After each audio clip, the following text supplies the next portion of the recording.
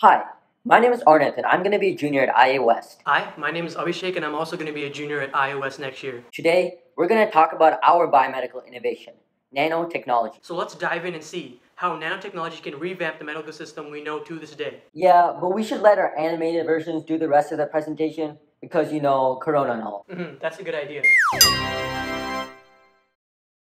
Okay, let's get right into it. Medicine has advanced tremendously throughout time.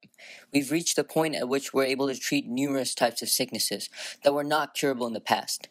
For example, malaria. Around 140 years ago, it took a major toll on us, almost killing half of the human population.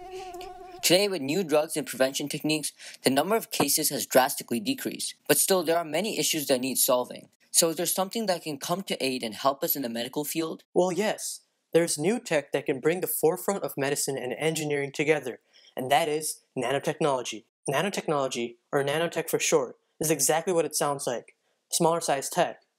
More specifically, atom sized robots that can be programmed to do almost any task.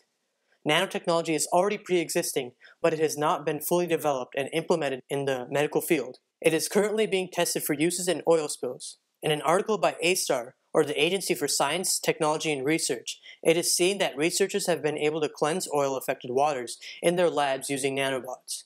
From their research, we can learn that by using each nanobot as a minuscule vessel, oil and any other substance can be quickly extracted from water. We know that this feature and many more can play to our advantage when implementing nanotechnology in medicine. As we said before, we plan to implement nanotechnology to help the medical field in many ways. Firstly, we plan to use nanotech in helping us identify foreign bodies in patients. Injecting patients with pre programmed nanobots can help find parasites, toxins, viruses, and anything out of the ordinary that is not normally in the human body. Okay, so say hello to Bill. Let's say Bill has been bitten by a cobra. It takes a cobra's venom around 30 minutes to kill an adult human.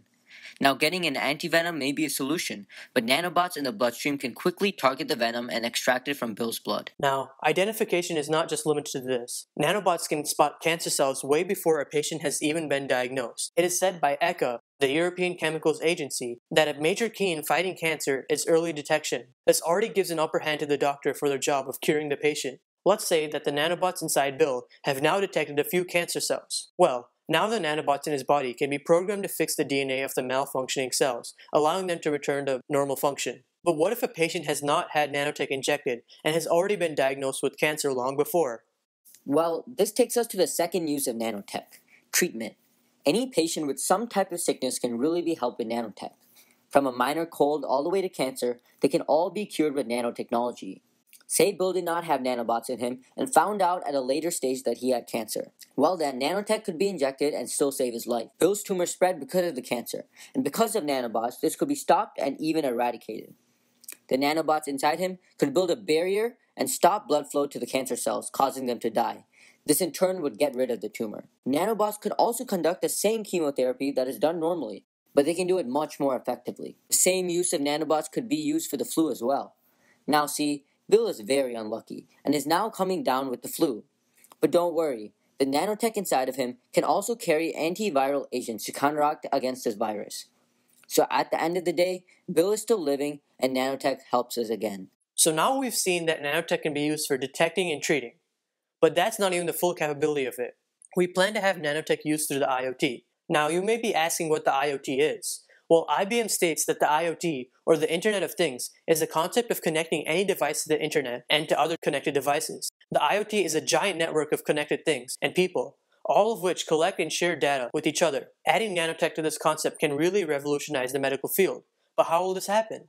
Well, we thought that connecting an app to the nanobots in the patient's bodies through the IoT could really help both the doctor and the patient.